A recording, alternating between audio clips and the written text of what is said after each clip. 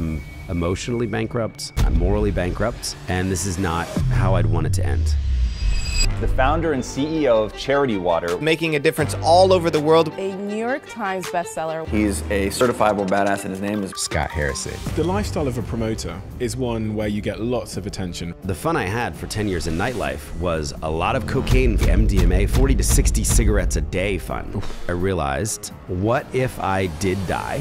What would I have to show for life? So that started a process. 10% of the world is drinking dirty water. And I realized so many of my friends didn't trust charities. Where does the money really go? So I had a very simple idea promise the public that 100% of anything they would ever give to charity water would go directly to help people get clean water. You know, nobody thought this business model was a good idea. And I was hitting a point where I realized maybe they're right. We're about to go out and build 100 wells, and we're about to miss payroll. There's no miracle that can save us. So without further ado, I'm Steven Bartlett, and this is the Diary of a CEO USA edition. I hope nobody's listening, but if you are, then please keep this to yourself.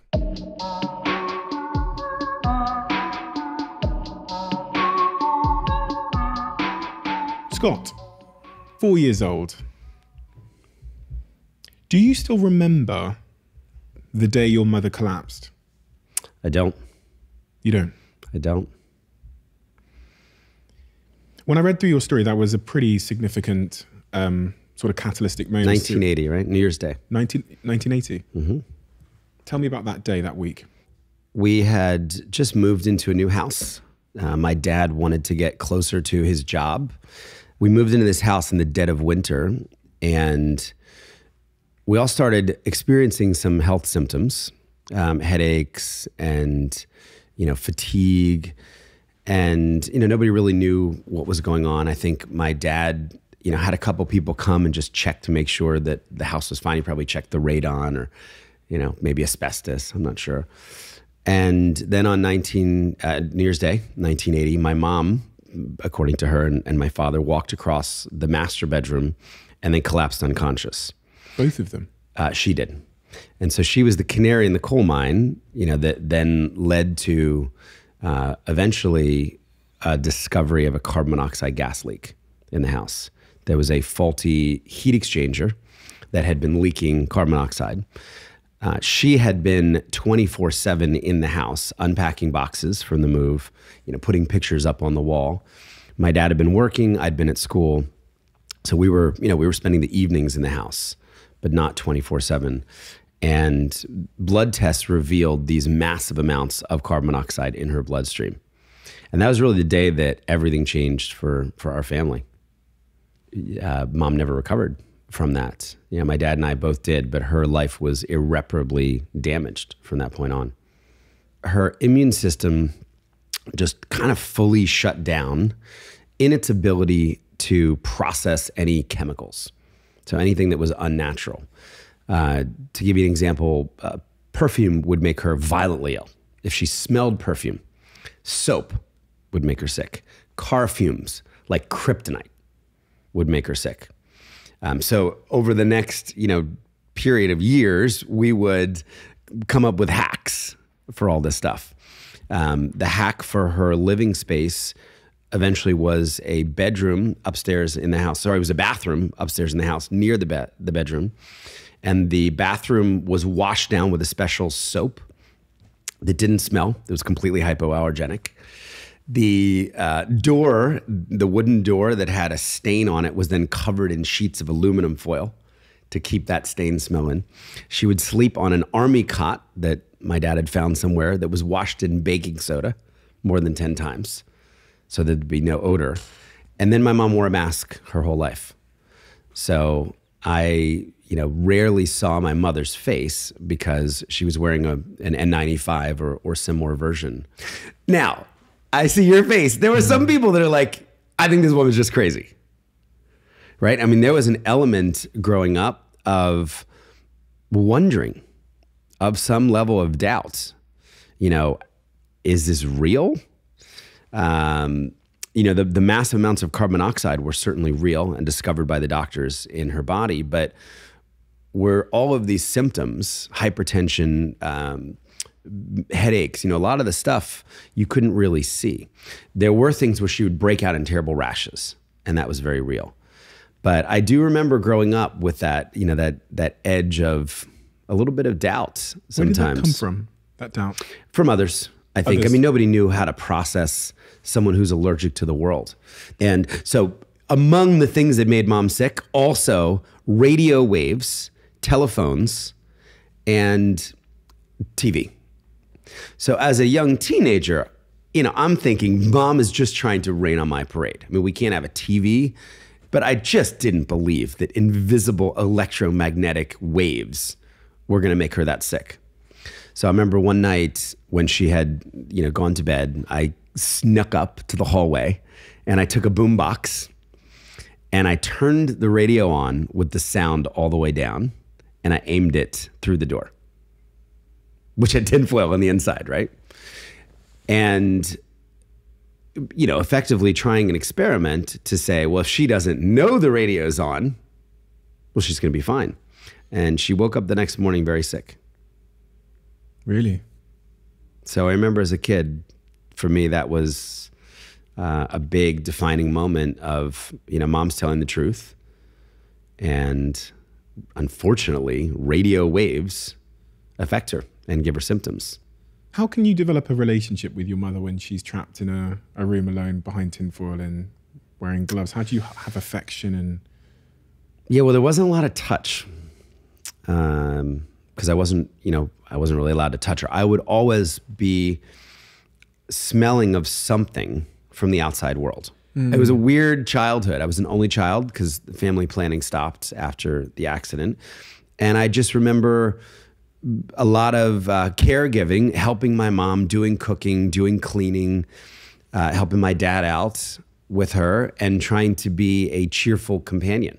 I would try to cheer her up. I would play piano outside her, you know, like a play a keyboard outside her her door. I had um, a gentleman sit here the other day that used to coach uh, Kobe Bryant, and he talked about this concept of having a dark side. And he his dark side is quite graphic, but he refers to the dark side as a concept where things that happen in our early years end up being both destructive and constructive. So, and they, when I sit here with people that are anomalies, you tend to find these stories because so they had some kind of anomalous up, upbringing, which led to them being an, an anomaly in their early years, for better or for worse. When you reflect on your, shall I call it dark side? Yeah. I think it's anger. And I've been able to make that anger useful by, you know, for the last, what, 17 years, you know, fighting against people suffering in needless poverty or, you know, specifically people without access to clean water. But that's probably the darkest side that I have is, you know, I can lose my temper. You know, I can, um, I can get angry um, quick.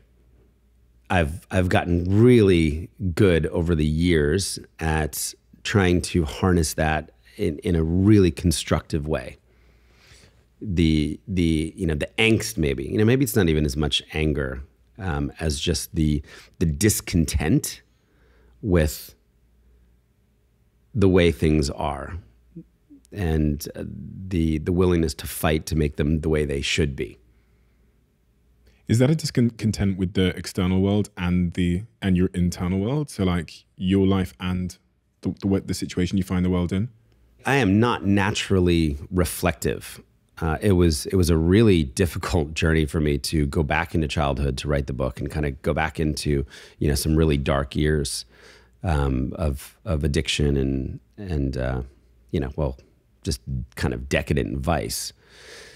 It wasn't really fun growing up, and you know I think now I'm a parent of of two kids and I'm 46 years old, and as I think about the childhood I want to give my kids. I, I actually think I'm overcompensating for fun. My wife and I were just talking about this the other day.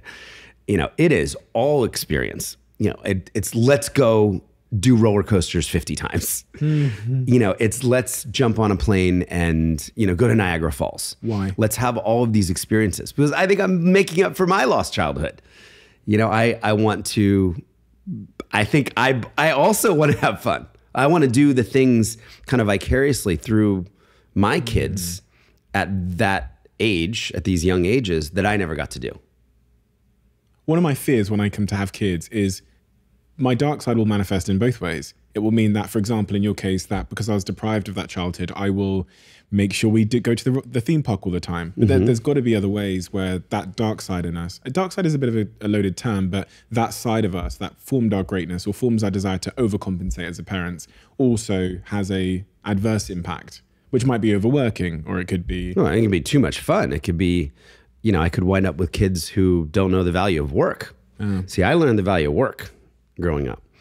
I was doing yard work. I was washing windows. I was cleaning a four bedroom house. I was, you know, washing mom's sheets in special, mm, you know, baking soda concoctions. So one of the one of the best things I got from my childhood was I was needed. I was I was performing a role that was essential to the family and that's you know that gave me a lot of confidence the lifestyle of a promoter, which you went on to mm-hmm. become, is one where you get lots of attention from lots of people. You get it from women. Mm-hmm. You also have a ton of power. Mm-hmm. You also have a ton of control. My brother, my oldest brother, actually, his early story sounds has shades of, of the experience you, you had in terms of school. And he went on to be a promoter. He actually was a bouncer and a promoter, even though he is maybe the, smart, the smartest academic person I've ever met in my life. He was a bouncer and a promoter in a nightclub and works in nightclubs. And I, when I th- reflected on that, I think I think much of the reason is because he was seeking attention, and the the way he felt psychologically in those scenarios was filling some kind of void he had in his childhood. And this is an assumption I'm making, but I, I don't know how far off I am. I mean, if you asked me at 19 what I wanted to do, it was open up for U2. I mean, Yeah. our band was going to be instantly rich and famous, uh, and I was the band's manager, and I was booking us out, and so I'm sure if I played that out, it would be look at me Mm. on stage, look at this band, uh, a way of feeling validated. When Sure. did the band dream end? very quick, very very soon after. Uh, the the piece, the the connective tissue there, which eventually led to to a ten year career in nightclubs in nightlife, was that when our band would play gigs, it was the promoters that were making the money. Hmm. We would bring a lot of people. Our people, our friends, would pay the cover to see us. And then the promoter would throw us a hundred bucks at the end of the night and say, split this five ways. Right? It wouldn't even pay for gas, let alone a guitar cable, you know, that broke or, you know, an amp that broke. So I befriended one of the promoters that had booked the band in the immediate aftermath of us breaking up and said, Take me under your wing and teach me the ropes. Teach me how to be on the other side of the velvet rope, you know, the other side of booking bands. And I jumped into that business at 19 years old. Now, the, the funny thing is, I wasn't even allowed to be in clubs. and you were, by all accounts, really successful Yeah, that. yeah. There were there were probably eight or ten of us that were at the highest echelon in New York City. What was it about your character and about you that made you successful at that? Because that is a very specific set of skills. I was cr- I was curating fun. I was creating and curating fun. My first experience in New York City was with with somebody who was courting our band, and he took me to a club called Club USA. I had never been inside a nightclub in my life, and here I am with you know three thousand people, and this club had a slide. And I remember he took me up to the balcony, and he's like, "Go in the slide." And I remember just, you know, you go in this long kind of like tunnel slide and it dropped you on the dance floor. and I loved it. I mean, there was just something so electric, something so illegal about it coming from my Christian kind of rule based worldview and childhood. I mean, if my parents had seen me at that club, my gosh. It's a really interesting through line between you saying, I said, why are you really good at, why were you really good at the, the nightlife scene? And you said, because I'm good at curating fun. And then like five minutes before we were talking about the fact that you create fun for your kids. You're Yeah. over indexed there. Mm-hmm. You were super successful. Well, and Charity Water is, you know, we've been called externally. I mean, it's a really fun brand. Hmm. Um, and, you know, this is a little bit of a joke, but what are the first three letters in fundraising? Oh, yeah. Okay. A lot of charities would say shame raising, Oh, yeah, you're guilt right. Guilt raising. Hmm. Let's me make people feel terrible hmm. that they have too much. You know, let's show pictures of kids with flies in Africa, you know, on their face in slow motion, locking mm. sad eyes with the camera. So we've we've very intentionally taken the opposite view of building the Charity Water brand over 15 years. And fun is a word in our culture. Do you think fun has such a big importance for you and your work because it was something you were deprived of? I think so. And I also think now the kind of fun really matters. So the fun I had for 10 years in nightlife was a lot of cocaine fun, a lot of ecstasy, MDMA fun, you know, 40 to 60 cigarettes a day fun, uh, gambling fun, pornography fun, strip club fun. Yeah, well, I'm, I'm, I'm using fun loosely. So it was a really unhealthy search for fun in those places, which were highly destructive for me. Give me the symptoms of highly destructive, psychologically, physically. It all started with smoking. You know, it was like the first cigarette. I did everything to such an extreme. Like everything kind of with reckless abandon. You know, there was really this all in. I mean, if I'm not going to be an occasional smoker, I'm going to smoke two to three packs a day. You know, I'm not going to be uh, occasionally sleeping around. I'm going to go and try and sleep with, you know, every beautiful girl in New York City. So I was brought up to save myself for marriage. That's a form So- of like medication, isn't it? In a strange way. It feels. Well, or playing things out to their end would be another way of, you know, you can't have this thing. Okay. So I was brought up, you can't have sex, you can't have smoking, you can't have drinking, you can't have drugs. I think a part of me really wanted to make sure that there wasn't happiness at the end of it hmm. and to really play it through to the end. So I I actually never felt like an addict to any of these things, maybe smoking aside. But I would do cocaine for two or three years and then kind of get bored with it. And I would do marijuana. Like, I'm just going to smoke and get stoned every single day. And then, no, I didn't find what I was looking for there. Okay, let me try and gamble. Let me go to Vegas. Let me go to Atlantic City. Let me, you know, learn craps and blackjack and poker and okay, I didn't find it there. I just got a lot broker. uh, so I think it was this exploration of, uh, you know, I didn't know what I was looking for. I was trying to fill a hole, and I needed to make sure that I left no stone unturned down that path. Are there days when you look back and go, that was one of my lowest days? Then I know there's probably a sequence of them. I think Yeah. about my own life. There's a sequence of days. I think that was a. But what was the first day where you think this something's got to change? Yeah, this is towards the end. So maybe I'm 26, a couple years before I got out of the business. And a typical night would look like a fancy dinner at 10 o'clock. We would then go to the club that we were promoting at around 11:45. We'd stay at the club until 3. We'd leave with a group of 20 people maybe, and we'd go to an after hours. And that might last till 11 a.m. After hours is gross. I mean, it's only drugs at after hours. And I just remember this one day coming back from after hours.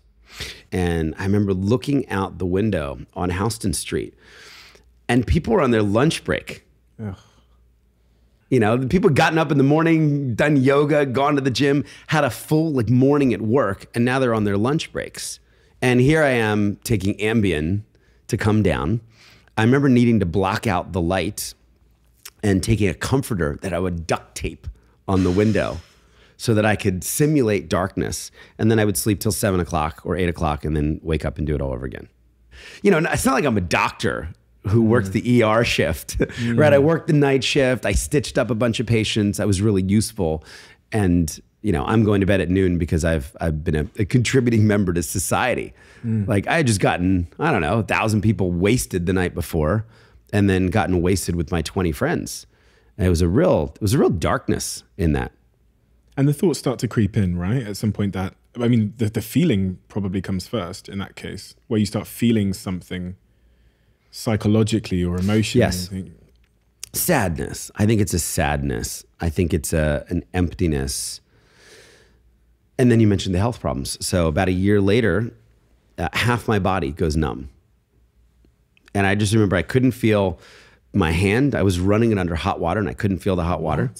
And I'm like kind of tapping. It was this kind of weird paresthesia, a numbness and tingling. So I'm now seeing doctors and I'm getting MRIs and CT scans. I'm convinced I have a fatal disease. I have a brain tumor. You know, there's just something weird. When you, the loss of feeling was really scary. I'm connected to EKGs. None of the tests reveal anything. And that was such a, that was a, a really clear moment for me where I realized what if I did die in the next month? And what if I did have an inoperable brain tumor? Would I be happy with the life that I lived? Hadn't done anything for others, hadn't mentored others, hadn't given charitably, um, hadn't been a good friend, particularly, hadn't been a particularly good boyfriend. And I just realized, wow, uh, I've I've really gotten to the end. I'm emotionally bankrupt. I'm spiritually bankrupt. I'm certainly morally bankrupt, and this is not how I'd want it to end. So that started a process. When you when people face face you know that feeling in their life, and sometimes it's just it's exactly that. It's a feeling that their job or the path they're on is not fulfilling them deeply, and they almost arrive at this a crossroads where they realize they've got to make a decision.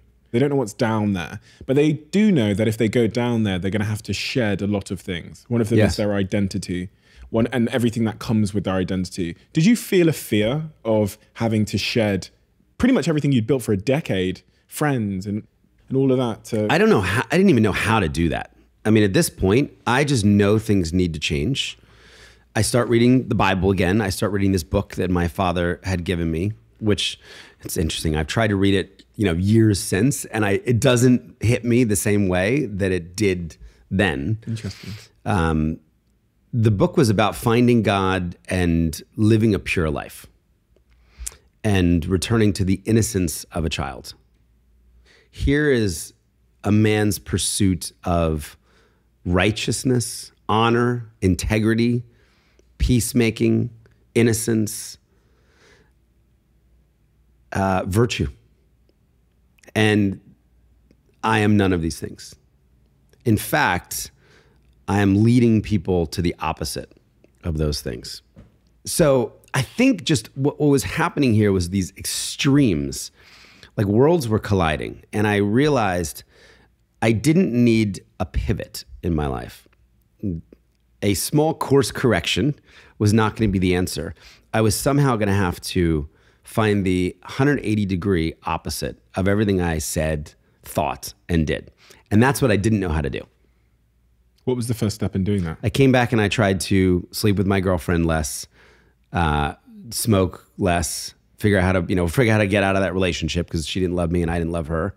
Smoke less, drink less, and knock it off with the drugs. And then I was miserable with my failure in all those things. I'd quit smoking for a week and then I was back at it. You know, I wouldn't do coke for a couple weeks, and then I was out at the party, and like some celebrity was there and offered it to me. It's like, well, you know, I mean, I'm doing coke with so and so. Like, I, you know, can't pass up this opportunity.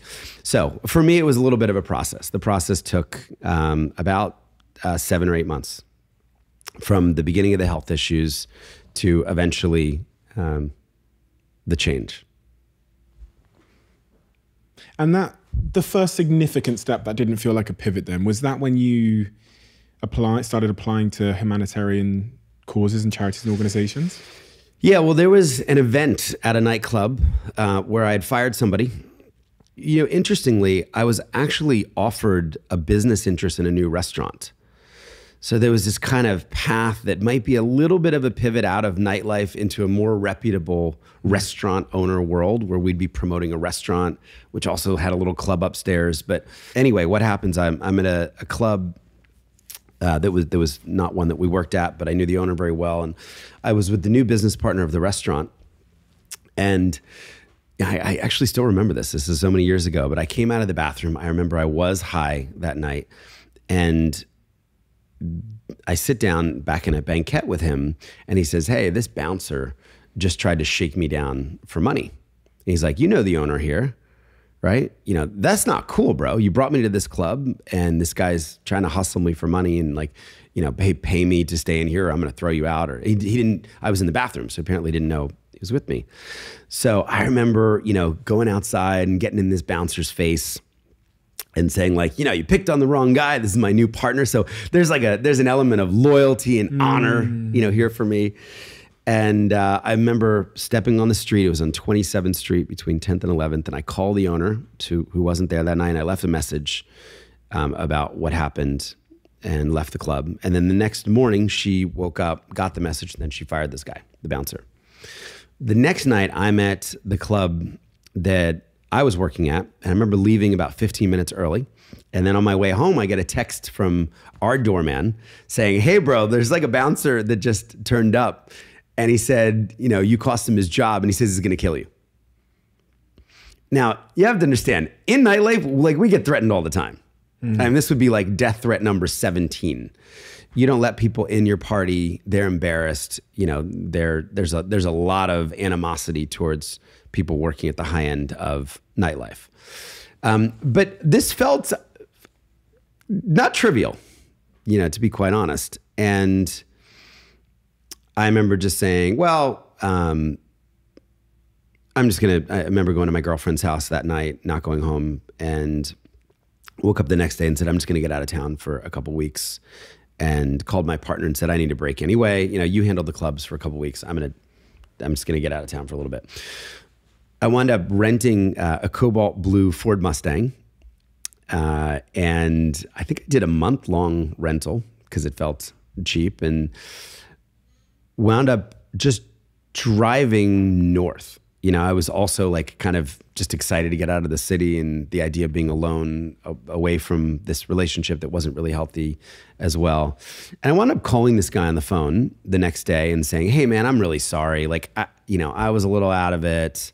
Um, what you did wasn't cool, but I'll try and get you another job. You know, here's a couple places that are hiring and feel free to use me as a reference. And you know, he seemed like he accepted the apology on the phone. So maybe that maybe there was never any danger. You know, um, I'm not sure. But I was heading north, and I was gonna, you know, get out of town for a while. And I remember bringing a Bible and a bottle of Dewar's and a carton of Marlboro Reds. So I start like reading the Bible while I'm drinking and smoking. And I I wind up going through Connecticut and through Vermont, and I wind up in Maine, and you know a, an inner transformation is really happening the farther I get away from New York City. Hmm. Like the farther north I go, the farther into kind of you know deserted beauty, the less I wanted to go back to New York, and it just kind of hits me. I don't ever need to go back what if I never went back? What would I do? And you know, called this a God-given idea or or whatever. I got this idea to that I so when I when I grew up in the church, this there was this idea of a biblical tithe where like 10% of your money goes to the church or to the poor, and then you get to keep 90%. Well, I got this idea to tithe my time. What if I gave one year of the 10 years that I've selfishly wasted back in service to God and and the poor uh, or people who who needed help. Could I be useful? That was really the question. And putting action to that, I remember being in a dial-up internet cafe with a bunch of old Dell computers in Greenville, Maine, on Moosehead Lake. I'm staying in a little motel, and I started to fill out the applications for the famous humanitarian aid organizations I'd heard of. Save the Children, Doctors Without Borders, Red Cross, uh, World Vision. And I commit in my mind that I'm not going to go back to New York and I'm going to actually change my life and I'm going to give a year back. I don't go back to New York. While I'm wait, oh, go ahead. I was going to say, it's just so I find it really interesting that the further away you got from New York, the more, because people can relate to that in their lives in so many ways. If you've ever taken a month off from a job, Yes. and you can finally feel it once you've stepped away from the thing. And said another way, the further I got away from this destructive environment for me, you know, the the more clarity I think I got.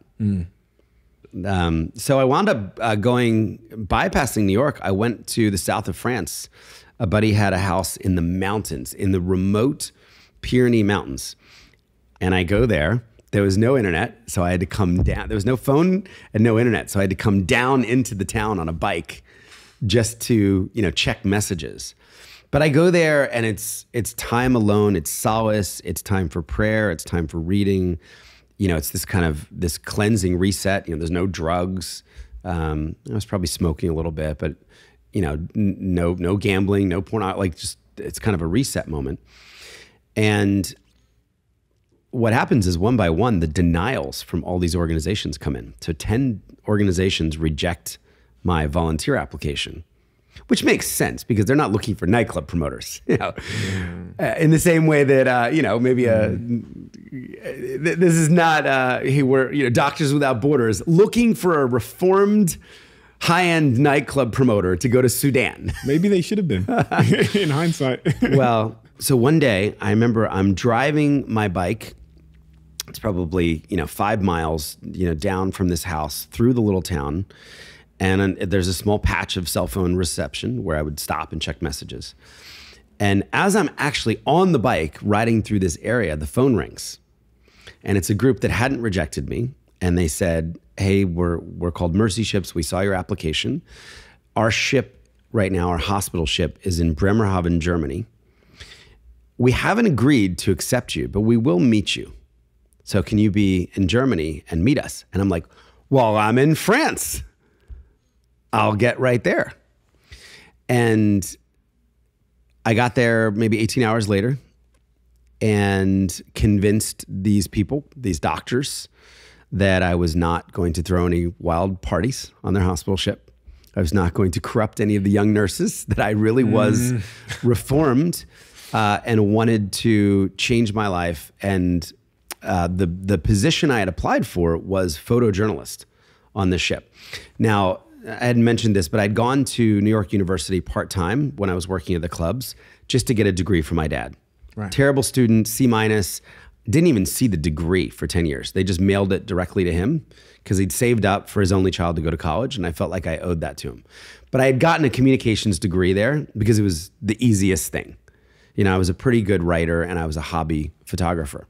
So I dust off this degree that I've never used with nightlife and I say, actually, I have a comms degree from a, a decent university and I can do this job. I also said to them, I have 15,000 people on my club email list. So I have a built in audience to be able to share the stories of the amazing redemptive humanitarian work I'm sure you're doing. So maybe maybe to set it another way, mm. let me promote something different. Let me yeah. promote you and the unbelievable medical work that you're going to be doing. And I have a bunch of people that I could already promote to. Tell me about the emotional journey you went on from there. So you, you get on this ship, it goes off to Liberia? Yeah, it goes to Benin, West Africa, and then Liberia. Well, this happens very quickly. So I go back to France, I pack up, and three weeks later, I'm on this hospital ship. And the night before I joined the ship, I had this this moment of clarity. So this is a 522 foot ocean liner, so huge cruise liner that had been gutted and turned into a state of the art hospital. And this organization for 25 years had sailed up and down the coast of Africa, bringing volunteer doctors, surgeons, and nurses on their vacation time to provide free medical services. So the the ship would pull into a port and then, you know, work there for a year and then sail off to the next place. So I have this moment of clarity that I really am going to need to quit all the vices before I join this group of Christian doctors and humanitarians on a ship. And there was something, you know, symbolic about the gangway. Right? Like I'm going to mm. walk up the gangway of this ship. They're going to lift the gangway I'm kind of trapped on it with 350 other volunteers. And then I'm going to sail away to a new continent and a new life. I better not bring any of that stuff with me. Hmm.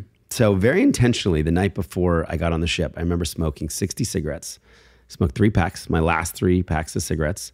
I remember getting hammered, drinking eight or nine beers, and just knowing that I would have to go, you know, cold turkey or all in to allow this new life to develop. And, you know, that was a clarifying moment. I, I drink a little bit now, years later, but I've never had another cigarette. I've never had a drag or, you know, 17 years now. Um, Never touched Coke or any of those things. Haven't looked at a pornographic image in 17 years. Never gambled again. Um, and actually didn't sleep with anyone for the next five years until uh, my wedding night with my wife. So I really went like full circle, you know, back home in the most extreme way to allow this new life to unfold. Quick one. We bring in eight people a month to watch these conversations live here in the studio when we're here in the UK and when we're in LA. If you want to be one of those people, all you've got to do is hit subscribe. I was reading through the book about what you saw when you arrived in, Yeah. in Oh my gosh. The Yeah. horrific things. There was actually a photo in here, I believe, of So let me set the scene. So the ship is pulling into the port. A small advance team for the previous three months had posted flyers throughout the country advertising the coming of the hospital ship. And we have 1,500 available surgery slots to hand out. So we're going to make 1,500 sick people healthy. Those are the surgery slots we had. So I'm so excited, right? This is like my new life. I've got two Nikon D1X cameras, uh, and I learn that the name for what the first event is the patient screening. It's the big triage moment. And the veterans on the ship called it the screaming. Oh, we're, we're headed to the patient screaming, you know, which should have sounded ominous. So I remember thinking, you know, looking at these flyers, which are advertising facial tumors, cleft lips, cleft palates, cleft faces, flesh eating disease, like people with parts of their face completely missing, holes that you can look through to the back of their throats. Uh, burns. Uh, many people had been burned during the war by rebel soldiers who would pour oil on their bodies to disfigure them. I remember thinking, like, are there 1,500 people that are going to turn up with these conditions? Like, uh, really? So we get in a Land Rover, a convoy of Land Rovers at 5:30 in the morning. This is my third day in Africa. So like the ship comes in, everybody gets ready, let's go.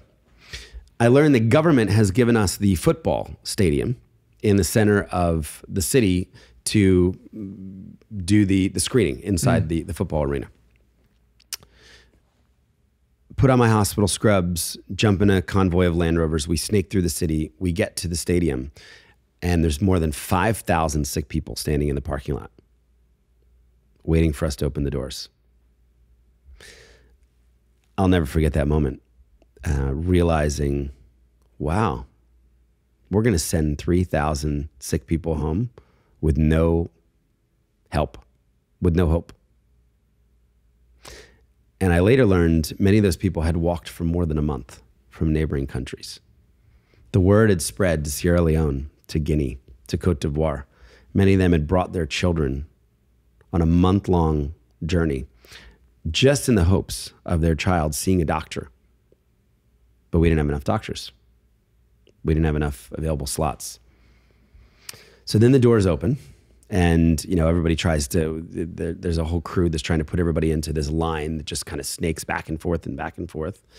And the first child that, so my job is going to be to photograph all 1,500 people up close for the medical library. And the first child I see is this 14 year old boy, and he's suffocating to death with a volleyball sized tumor, this pink red tumor that is occupying his entire mouth. And he's having a hard time breathing. He's terrified. You know, I just remember the fear in his eyes. I'm terrified. You know, I remember just weeping. I'd never seen suffering like this before.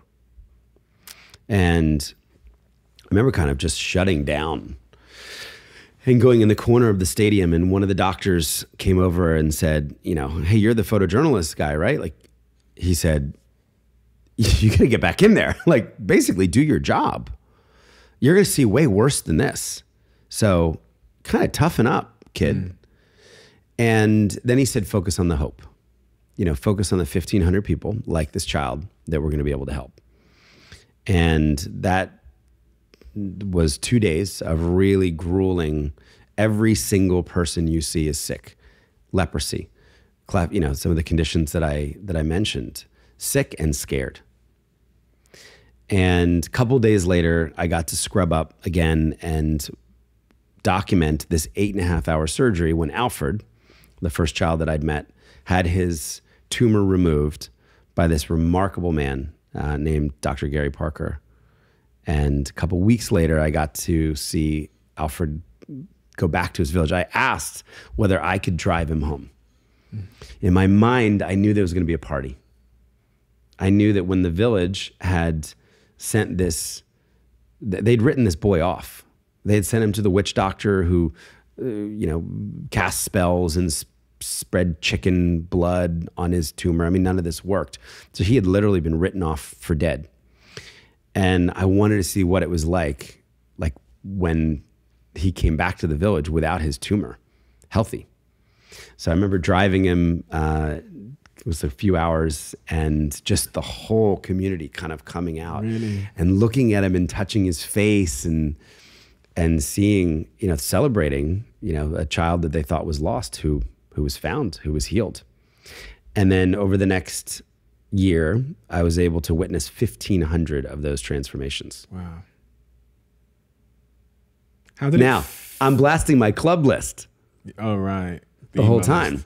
Mm. So that was fun because it, it, in a very short turn, people were getting emails from me inviting them to the opening of the Prada Megastore or Cosmopolitan, you know, Fashion Week party. And now they're getting pictures of 14 year olds with facial tumors and pictures of the operating procedure and then pictures of, of post op. And what are you asking them for? I'm just sharing my experience. Oh really? Okay. And I'm, I'm promoting the work of the doctors. Like, guys, this is amazing. These doctors are here. We're changing people's lives. So when you drive that kid home and you see the reaction, Yeah. or even when you see the before and after, how did that can feel in comparison to the best club night you ever threw? So much better. So much better.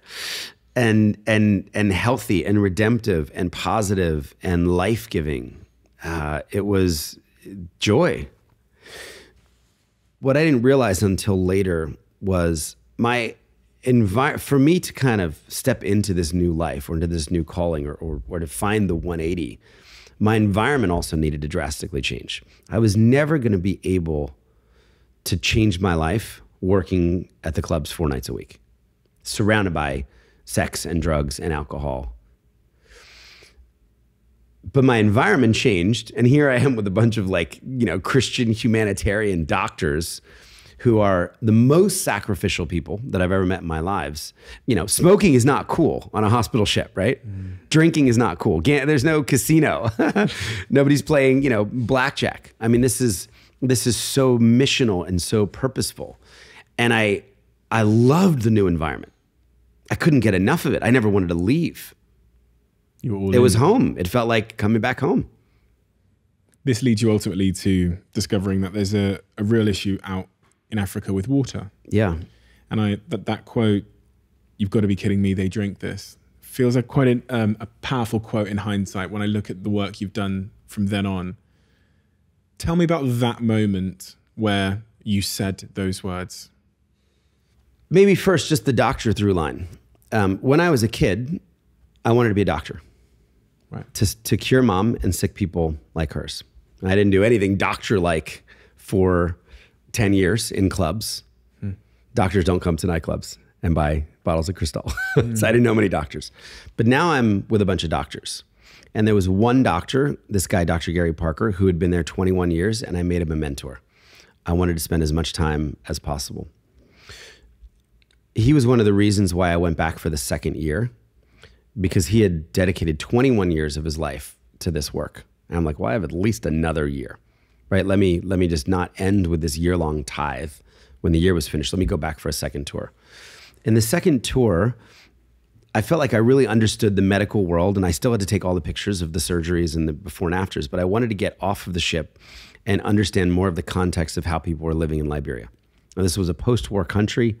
14 years of brutal civil war led by Charles Taylor had torn, torn apart the country. There was no electricity, no running water, no sewage system, and no mail system. So just imagine like shambles, like everything broke down in a decade and a half of war. I mean, look how much destruction is happening just in a short time. You know, the, what we're seeing now in um, in the Ukraine.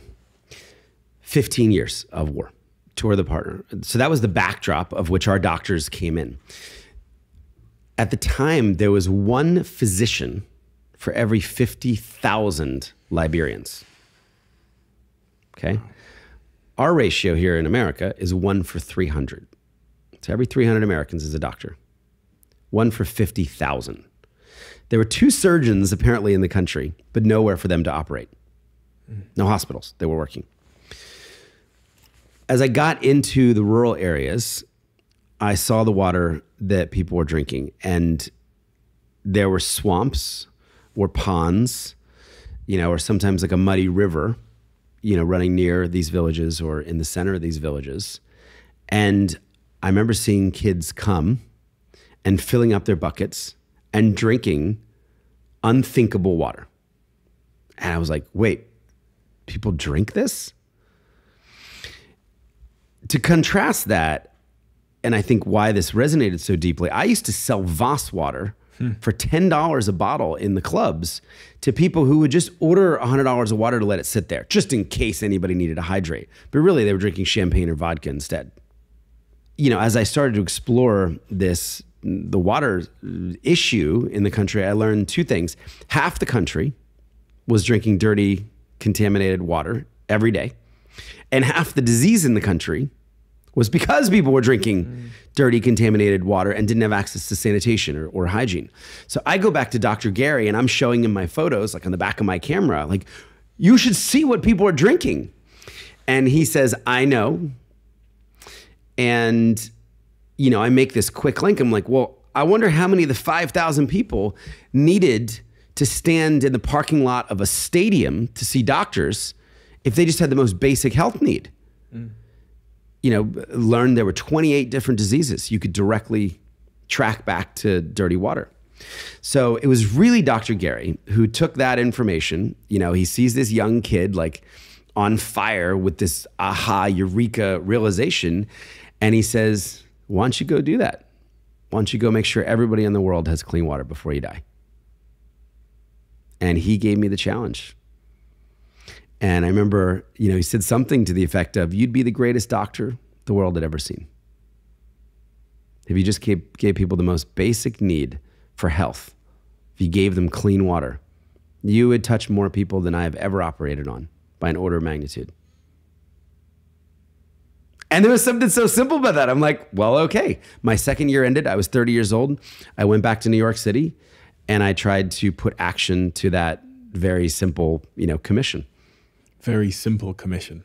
Well, it was simple. I mean, I mean, the simple mission: it's- bring clean water to everybody on the planet. It's few words, but it's a big. I mean, it's an impossible challenge, right? It's it's a tremendous, tremendous challenge. And uh, you know, you said it's simple, but I'm sure there's lots of people who have been given similar kind of flippant mandates from people in their lives. Go and fix that. Why don't you go and fix that? And 99.9% of them will never attempt to to fix that. Which makes me answer the ask the question: Why did you believe that you could do that? So I saw the small impact that I had made promoting the work of mercy ships. Mm. In between the two missions, there was a little gap in between year one and year two. And I came back to New York City with my photos. I got a gallery donated in Chelsea. I printed 108 of my photos and I invited all my nightclub friends to come in and see the work that these doctors were doing. And I raised about $100,000 for their work through that show. I remember people, callous people, that you know would come to the nightclub, you know, who were just kind of didn't seem like they would care about anything, standing in front of some of my images, weeping, as they read the caption, as they learned, you know, hey, this is someone just my age, born in a different environment, you know, with with a terrible affliction, with no doctor to go to. So I had a little bit of like, wow, that you know success. And and you know while my email list shrunk a little bit with some unsubscribes Mm. at the beginning, it actually began to grow as people would forward it to their friends and like, oh my gosh, there's like this guy that he's like I used to do coke with this guy and he's like on this hospital ship in Liberia. I've never even heard of Liberia and. Like look at these photos. I mean, look at these doctors. Like blind people are are seeing, and you know, faces are being fixed. And yeah, we would find a 65 year old woman in a village with a cleft lip. Food and water had spilled out of her mouth her entire life. And we provided a $280 surgery, and she could speak and she could eat and had her dignity and her life back. So, you know, this stuff was like, it was, it was, um, it was inspiring people, the work of the doctors. And I was the promoter.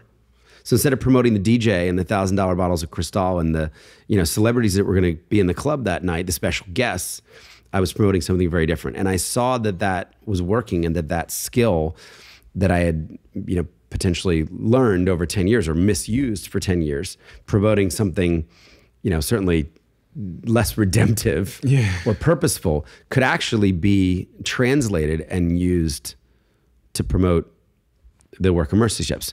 The next step was I thought it would be possible to promote clean water for humans. So, and, and, and in fact, in an even more simple way. I mean, it's, it's, what do you do? We bring clean water to people around the world. Everybody should have clean water to drink. I thought it was a really promotable cause. And what is what was your business model though in terms Yeah. of the model? So how are you going to bring water to all of these people? Well, at this moment, I'm broke. Uh, I am back from Africa. I have no savings. I've given everything that I had to Mercy Ships and the people I'd met. So I crashed with my old club partner who lets me sleep on his closet floor for free rent. And I had the idea bring clean water to everybody on the planet. And I had the benefit of not having any institutional charitable knowledge outside of my experience with Mercy Ships. And I just was talking to people that worked at MTV or at fashion magazines or at Sephora and or, or at the local bank. And I realized so many of my friends didn't trust charities. Hmm. They did not trust the system. Almost all of their problems had to do with money. Where does the money really go? Hmm. How much of the money actually gets to the people who need it? Yeah, how much of the money actually goes to the cause? And you know, the term social entrepreneur wasn't even around back then, but you know, I just took a very entrepreneurial approach to this and said, well, I wonder if through a new business model, I could speak to those objections. I could reach out to these cynical, skeptical, disenchanted people and get them excited about giving in a new way. So I had a very simple idea separate the overhead from the money that people would give to the organization. So open up two bank accounts. Promise the public that 100% of anything they would ever give to Charity Water would go directly to help people get clean water. And then in the other bank account, go and find a small group of business leaders and entrepreneurs to pay for those unsexy overhead costs. The staff salaries, the office rent, the flights, the insurance, the you know Epson toner for the copy machine. So church and state, two differently audited bank accounts. And I wasn't sure how I would fund the overhead, but boy, was it clean. And I thought it was a really compelling story that beyond just promoting clean water, an inarguable common good for the world that I thought everybody could get behind, we would now have this hyper transparent business model that would speak to the most common objection people have to giving to charity, which is where does the money go? So I tried this out. My only idea on day one was to get a club donated. It was September 7th. It was my birthday. I was turning 31, and I got a club in the meatpacking district donated during Fashion Week. I got open bar donated for an hour, and then I invited everybody to come to celebrate my 31st birthday. But to get inside the club, they had to put $20 in this big plexi box. And we were going to take 100% of whatever was in that box at the end of the night and we're going to go help our first person get access to clean water. And i printed up my photos. So in the club you know it's kind of juxtaposed with people drinking dirty water and and wells being drilled and people drinking clean water. I'd also seen that when i was in africa i'd seen the solution to the problem mm-hmm. of wells being drilled and communities going from dirty to clean so I put those photos up, and 700 people came that night. And I'll never forget a drug dealer came that night. He was a, a, a pretty high end weed dealer. And he put $500 in the box. And he looked at me and he said, This is the first charitable gift I've ever made in my life. Really? Wow. But I know where this money's going and I trust you. We raised $15,000. I remember we counted it and double counted and like we're taking pictures of the money in the stacks, like, you know, because this is your 1st mm-hmm. this is day one of the organization. And we took that money immediately to a refugee camp in northern Uganda. We built our first water well and then we fixed a couple other broken wells. And then the most important thing was we sent the photo proof video of clean water flowing and then the satellite images of where every single water project was. And I emailed the 700 people that came and said, You did this. Here's where 100% of your $20 went. And because you came and gave, people are drinking clean water. And here's the proof. Thank you for Vodafone for sponsoring this podcast. One of the greatest tips I can give any small business owner listening right now is to take risks. In fact, the biggest risk to your business will be taking too fewer risks. Complacency and comfort seeking will harm your success, but taking risks can be incredibly daunting. That's why I've partnered with Vodafone Business and their VHub, which offers free one to one sessions with VHub digital advisors, and you can call up and speak to one completely free of charge sharing your ideas and getting input from someone who's knowledgeable on the topic and able to help you towards your next business step. To find out more, search VHub by Vodafone. As you might know, myenergi are a sponsor of this podcast and they offer countless ways to make your life a little bit more sustainable and make that transition from where you are now to a sustainable life 10 times easier. Their products are all about energy independence, allowing you to create a greener home through their cost effective and super user friendly products. And one of my favorite products right now is the Zappi. It's a smart EV charger which simply allows you to charge your electric vehicle from solar or wind power. So if you would like to find out more about myenergi, then head to myenergi.com. And if you've tried the Zappi, let me know how you got on with it in the comments section below. Was there a time in that, that early startup phase where you genuinely considered that you might fail? Every day. Really? Absolutely every day, especially with this business model. If I couldn't raise the overhead, it, it didn't matter how successful we were with the, the public funding. Uh, so every day, And in terms of difficulties with business, with people, with you know everything else, what was what was the most painful time of that early years? The most painful day, event that you went through? Yeah. Well, the, the charity started off very quickly, and people loved the 100% model. Um, it just began to build a lot of momentum. We raised $2 million in the first year through a flurry of activities gallery shows and events, and people doing concerts for us, and people giving online. And we were selling a $20 bottle of water. You know, just as a symbolic gesture where all $20 would go and people would buy cases of the water. So it was just, it was a year of a lot of success. And then in the second year, um, we were on track to raise $6 million. But always a struggle for the overhead. Always a struggle to, you know, find a donor to pay for employee number two or to pay for the next month's office rent. I mean, we were in a really crappy office, like covered in grease floors. It was an old printing press. So I was doing all that work, trying to convince people to help me build the actual organization because the 100% model was so resonant. We got to a point uh, about a year and a half in where we had almost a million dollars in the water bank account, about to go out and build a hundred wells, and we were about to miss payroll, and we had nine people at the time. And I remember just thinking, and, and by the way, people had been warning me that this model would fail. You know, nobody thought this business model was a good idea. Right? I mean, effectively, you can't use any of the money you raise from the public to actually run the company, to run the organization. But I just had such faith in it. And I had tapped out all the people that I knew for the overhead. And I was hitting a point where I realized maybe they're right. You know, maybe this is a really dumb business model. So I start calling lawyers about shutting down the charity. It's a year and a half in, even though we've raised, you know, millions of dollars. I remember praying, you know, with very little faith, and you know, I, and I didn't start a religious charity, so I was still kind of animated by my personal faith and, um, you know, a belief in in prayer. But I remember like praying for a miracle, but I'm like, there's no miracle that can save us at this moment.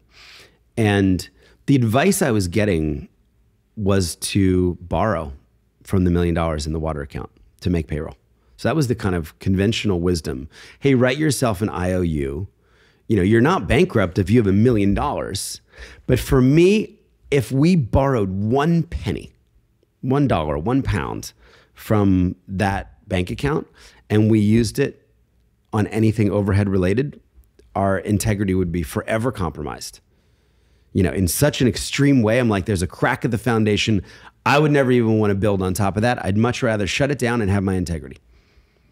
And at that moment, uh, I had written a cold email to a British uh, internet entrepreneur, um, actually about something completely different, not even about funding, about uh, trying to get exposure on his social media network.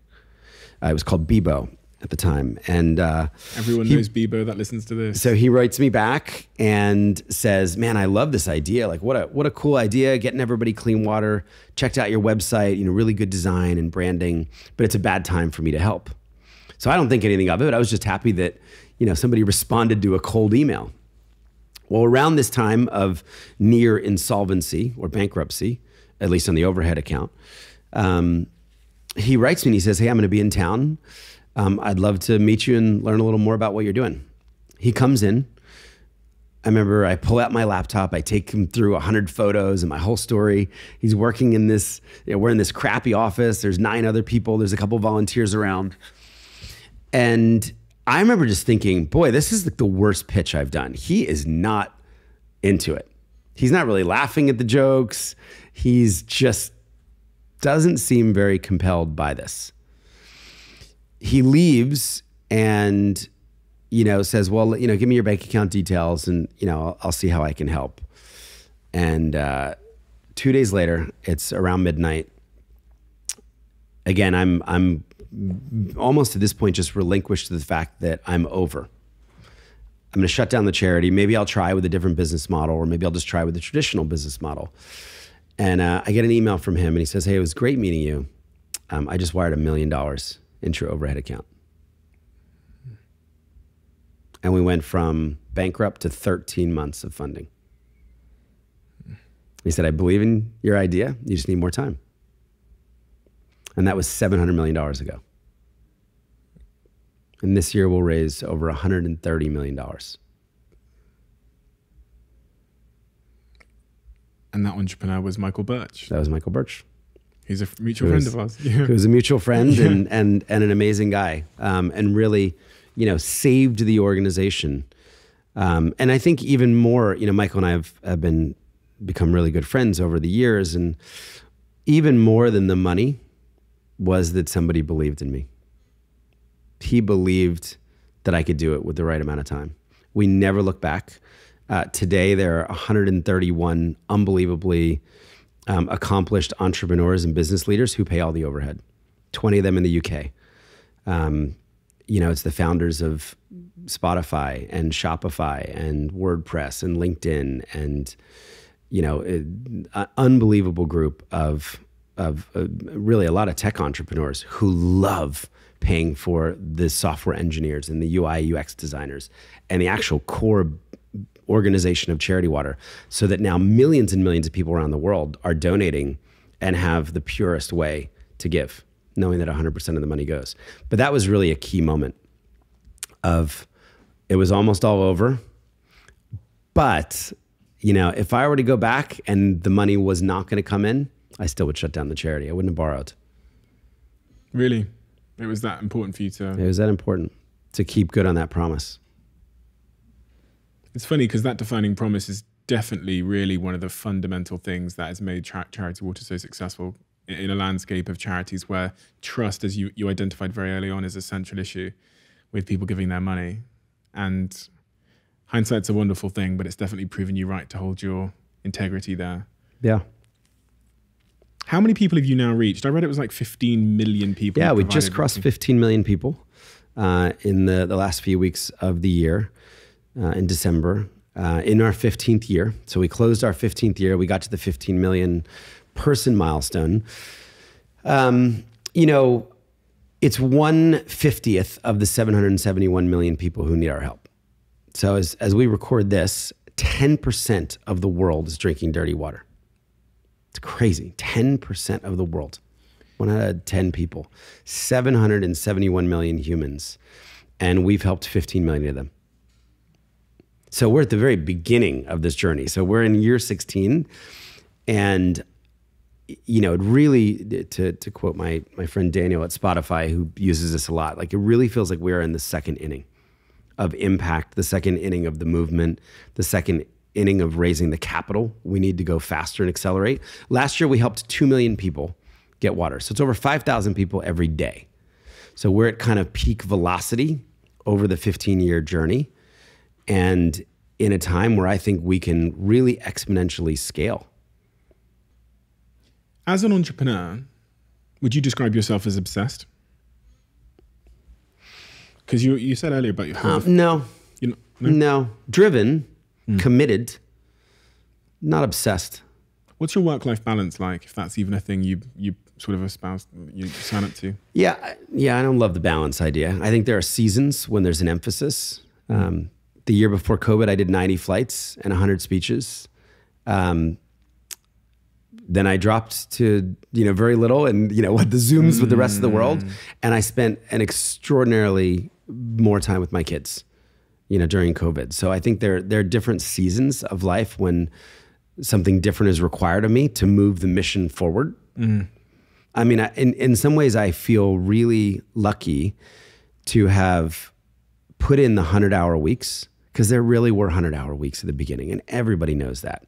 You are just when you're trying to birth something, you know, whether it's a company or a, a nonprofit or a you know a for good company, there's an extraordinary amount of work that is required in those early days and years because you really could kind of die at any moment. Like, mm-hmm. you know, the, the thing could die.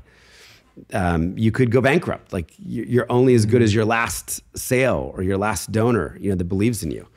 So I'm lucky that I got that really hard work in early and built the organization to, you know, now there's there's 2,000 people around the world that are working on charity water projects every day. You know, there's 100 people uh, here in the states and in London, you know, who are working on the, you know the fundraising and the campaigns and um, and and managing all these these water projects. So I work differently, but less. You know, I'm I'm really present with my kids. I take my kids to school every morning when I'm home, and I pick them up from school.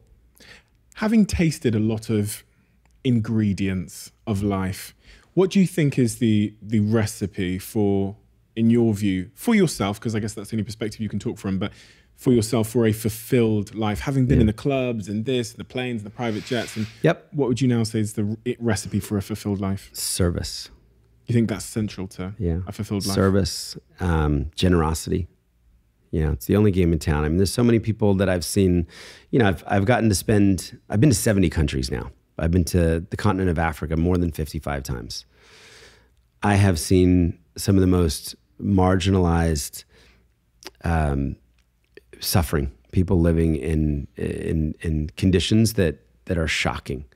I've been with moms that have lost seven kids to diarrhea and waterborne diseases. Um, I've I've seen horrible, horrible things around the world, and then I've been with you know dozens and dozens of billionaires, and I've seen the top echelon of private planes and forty cars and seventy million dollar houses, and um, I'll tell you that you know the houses and the cars and the watches and the planes and the you know the out market capping you know your competitors is not where purpose lies. Um, it's really in service and asking how, for me, how can I use my time and my talent and my my resources, my money, in the service of others?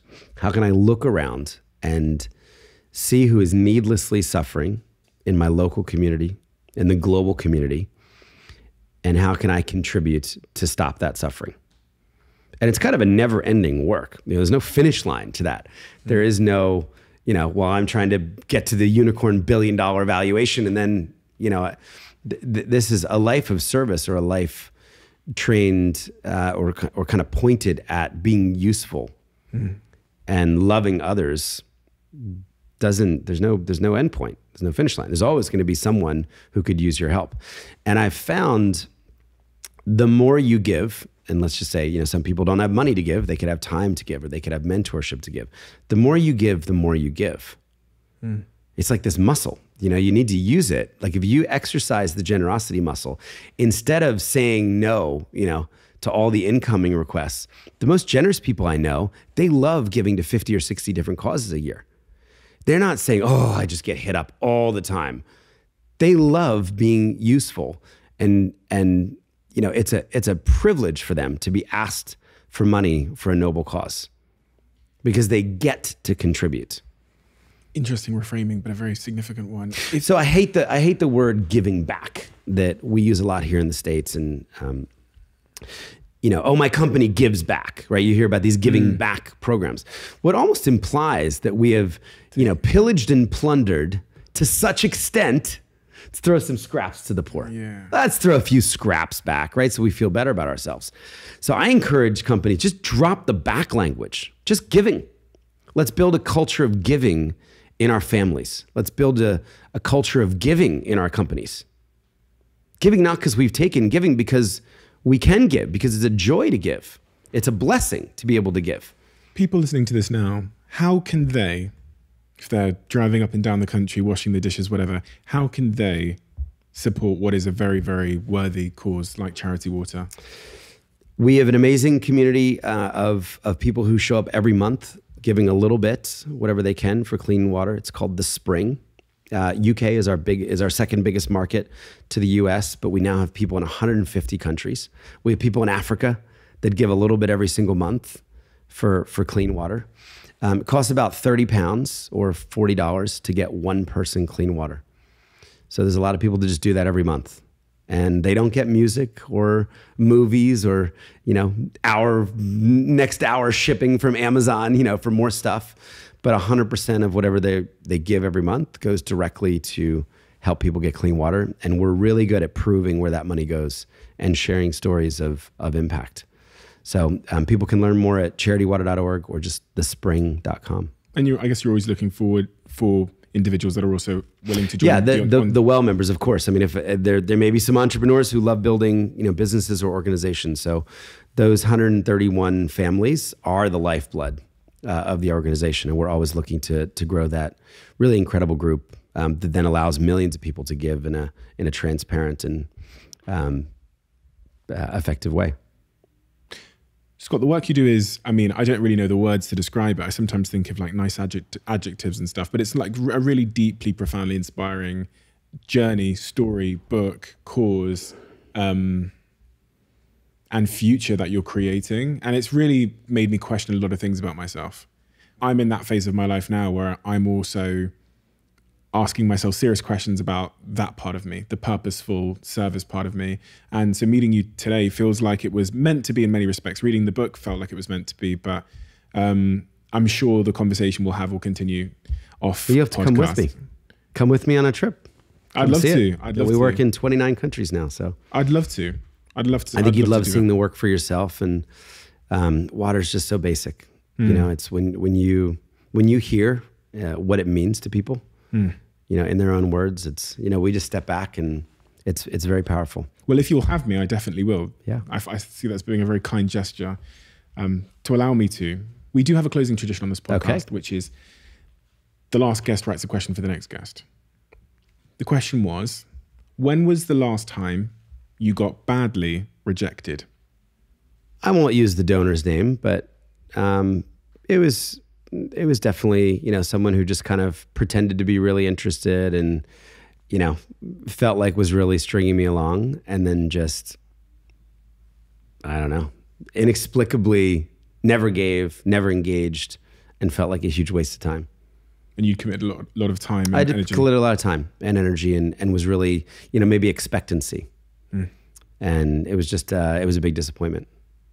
It normally doesn't happen. I mean, I'm I'm uh, we're we're really blessed by you know being surrounded with with an amazing group of people and an amazing community.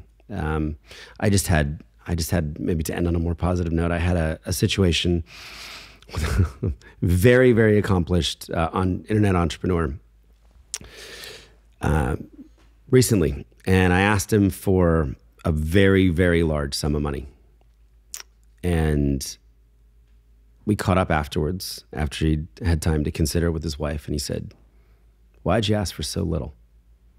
And then he gave four times more. Wow. Swings and roundabouts. Why did you ask for so little?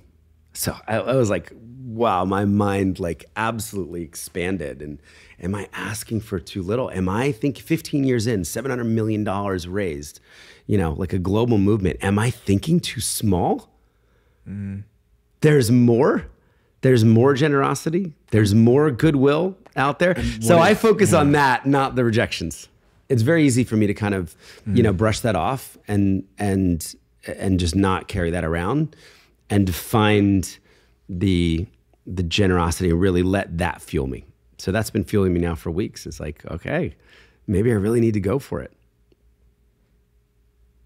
Scott, thank you. Uh, oh, just a, an amazing conversation and one that's going to stay with me for some time. I can feel that certainly. So, um, and your book, if nobody's, I mean, there's two things. There was a couple of catalysts that really brought me to you. I said to you earlier, my manager had seen you speak and insisted that we, we had this conversation and that I read your book. Then I saw that famous video, which anyone can watch, which kind of summarizes your story in about 20 odd minutes, Yeah. which has done some 25 million views on YouTube. That, that had me completely. Scott, thank you. Thanks for having me. I had a few words to say about one of my sponsors on this podcast. My girlfriend came upstairs yesterday when I was having a shower and she said to me that she tried the Huel protein shake, which lives on my fridge over there. And she said it's amazing. Low calories, you get your 20 odd grams of protein, you get your 26 vitamins and minerals, and it's nutritionally complete. In the protein space, there's lots of things, but it's hard to find something that is nice, especially when consumed just with water, and that is nutritionally complete. The salted caramel one, if you put some ice cubes in it and you put it in a blender and you try it, is as good as pretty much any milkshake on the market, just mixed with water. It's been a game changer for me because I'm trying to drop my calorie intake and I'm trying to be a little bit more healthy with my diet. So this is where Huel fits in my life. Thank you, Huel, for making a product that I actually like.